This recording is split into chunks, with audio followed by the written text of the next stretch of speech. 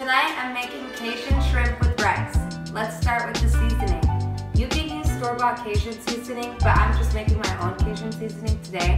All of the spices and all of the measurements for the spices are listed in the description box below. Right here next to me I have my shrimp, and um, I just took the shell off and put it on paper towels to be dry. And I'm just gonna season the shrimp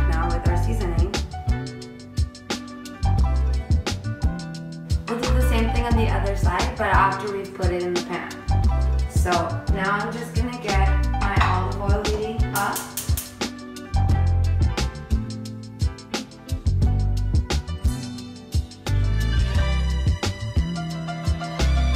Now that we made our Cajun seasoning, seasoned our shrimp, browned it and set it aside, we're gonna use the same pan to saute the bell peppers and onions You're also gonna need a third of a cup of rice and two thirds of a cup of chicken broth. So let's get started with the next step.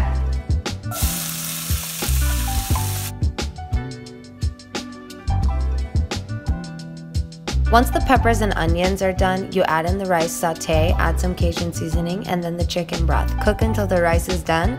Then put your brown shrimp back in, fold until everything's warmed up, and serve.